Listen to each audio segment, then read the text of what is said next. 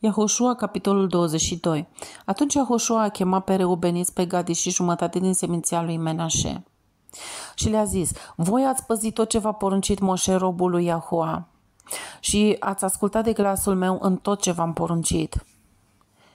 N-ați părăsit pe frații voștri de o bună bucată de vreme până în ziua de azi și ați păzit rânduielile și poruncele lui Yahua Eloahului vostru. Acum când Iahua, Elohul vostru, a dat o dihnă fraților voștri, cum le spusese, întoarceți-vă și duceți-vă la corturile voastre în țara dată în stăpânirea voastră pe care v-a dat-o Moșe robului Iahua dincolo de Iordan.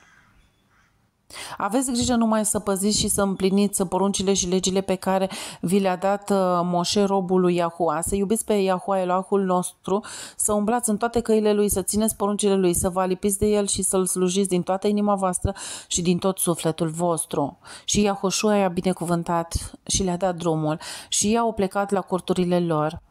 Moșe dăduse unei jumătăți din uh, seminția lui Menașe o moștenire în Bașan și Iahoșua a dat celelalte jumătăți o moștenire lângă fraților din coace de Iarden la apus. Când uh, i-a trimis Iahoșua la curturile lor, i-a binecuvântat și le-a zis Voi vă întoarceți la curturile voastre cu mari bogății, cu foarte multe turme și cu o mare mulțime de argint, de aur, de aramă, de fier și de îmbrăcăminte. Împărțiți cu frații voștri prada luată de la vrăjmașii voștri. Fiul lui Reuben, fiul lui Gad și jumătate din seminția lui Menașe s-au întors acasă, lăsând cu, pe copiii lui Israel la Shilo, în țara Cnaanului, ca să se ducă în țara Giladului, care era moșia lor și unde se așezaseră cum poruncise lui Moșe Yahua. Când au ajuns pe malurile Iardenului, care fac parte din țara Cnaanului, fiul lui Reuben, fiul lui Gad și jumătate din seminția lui Menașe, au zidit acolo un altar lângă Iarden, un altar a cărui mărime izbea privirile. Copiii lui Israel au auzit zicându-se, iată că fiul lui Reuben, fiul lui Gad și jumătate din seminția lui Menașe au zidit un altar în fața țării Cnaanului, pe malurile Iardenului, în părțile copiilor lui Israel.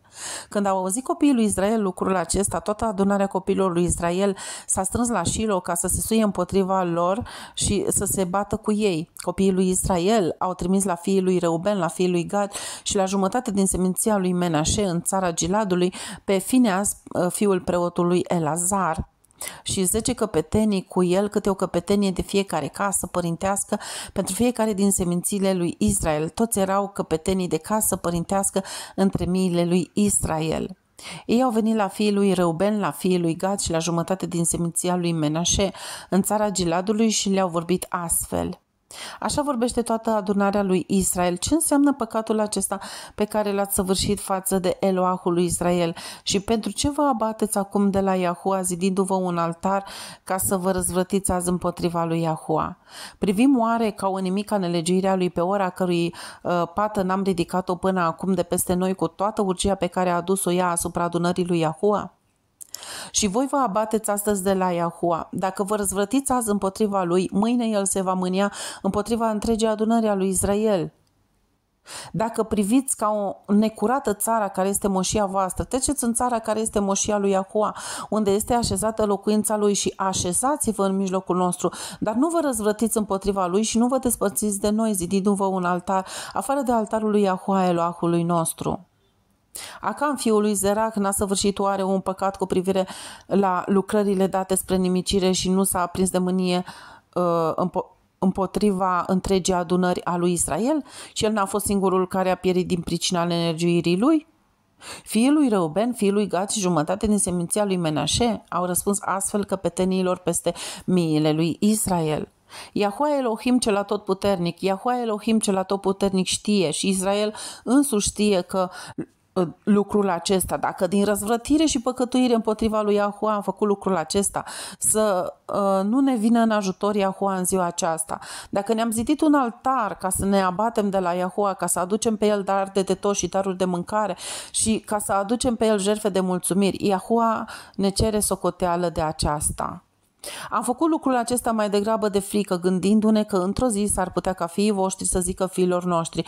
Ce legătură este între voi și Iahua Eloahul lui Israel? Iahua a pus Iardenul hotar între noi și voi, fia lui Ruben, Reuben și fia lui Gad. Voi n-aveți parte de Iahua. Și fiii voștri ar face astfel ca fiii noștri să nu se mai teamă de Iahua.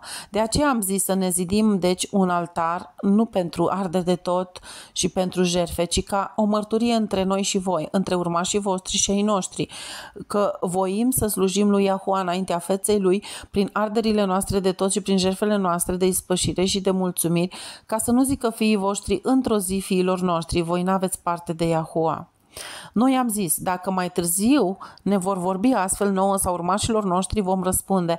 Priviți chipul altarului lui Yahua pe care l-au făcut părinții noștri, nu pentru arde de tot și pentru jerfe, ci ca mărturie între noi și voi.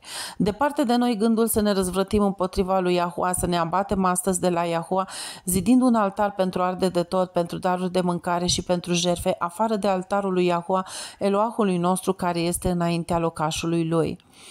Când au auzit preotul Fineas și căpetenile adunării, căpeteniile peste miile lui Israel, care erau cu el, cuvintele pe care le-au rostit fiii lui Reuben, fiii lui Gad și fiii lui Menașe, au rămas mulțumiți. Și Fineas, fiul preotului Elazar, a zis fiilor lui Ruben, fiilor lui Gad și fiilor lui Menașe.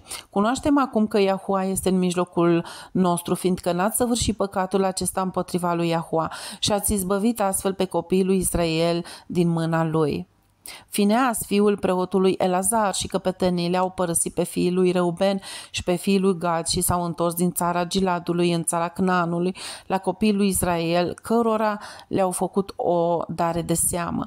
Copiii lui Israel au rămas mulțumiți, au binecuvântat pe Iahua și n-au mai vorbit să se suie înarmați ca să pustiască țara pe care o locuiau fiii lui Reuben și fiii lui Gad. Fiii lui Reuben și fiii lui Gad au numit altarul acela Ed, căci au zis ei, el este mare martor între noi că Yahua este Elohim.